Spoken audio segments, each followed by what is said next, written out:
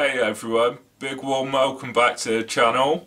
In today's video I want to talk about um, like the effects ataxia has on body composition and a bit about exercise and stuff.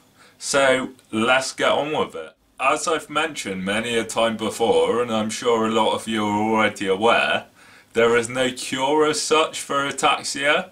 Um, the general consensus is that exercise and physiotherapy is like the only recognized, not cure, but like way to alleviate the symptoms. Um, and so I like try and do as much exercise and physiotherapy as I possibly can. But again, the wonderful condition of ataxia, being the absolute asswipe that it is, has made this hard for me as well. There's a load of physical problems that ataxia brings to the table. The obvious one being, of course, it makes you stumble around like a wasted zombie, which, by the way, I think is where Katy Perry got the inspiration for the smash hit song Chained to the Rhythm. Um, so you're welcome for that, Katy. But um, for me personally, and um, I'd be interested to hear if um, any other people that have ataxia uh, suffer with this. I have little to no functional strength. Don't get me wrong, I'm still as strong as an ox when it comes to the old weights and that, and I still make a habit of bench pressing skips and cars, etc. But when it comes to doing stuff that you actually need to do, like, I don't know, getting, like, putting stuff up on shelves or carrying, like, shopping bags, then I'm as weak as a kitten, to be fair. Luckily, there is actually a more scientific explanation of this phenomenon than just being weak, and that is that ataxia itself um, is caused by shrinkage of the cerebellum. I'm trying my hardest not to say celery there because um, I've done about a million takes of this and I keep saying celery, but um, I think I made it that time.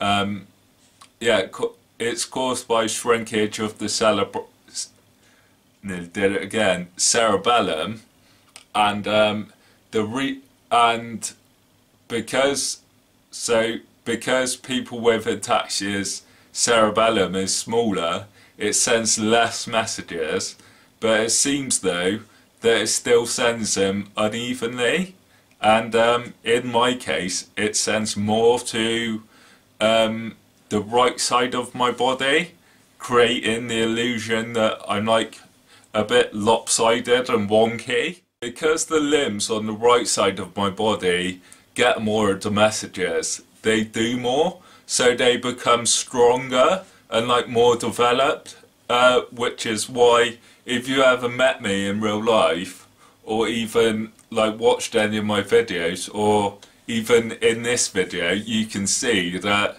my right side is like more I don't know really how to explain it. Just more sort of sort of upright, and my left side is like a bit like limp, and it looks like a bit sagging.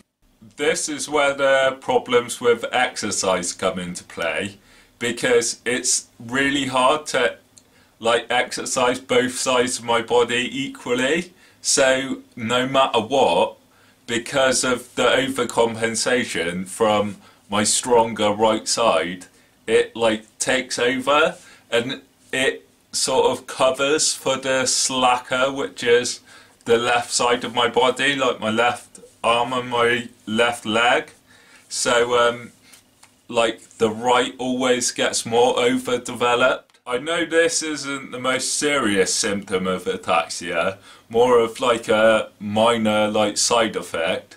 And granted, there's a lot worse things going on in the world at the moment, but it's a bit of an inconvenience. Um, I know that, however, that I've just got to keep being patient and keep working at it, and it might change over time.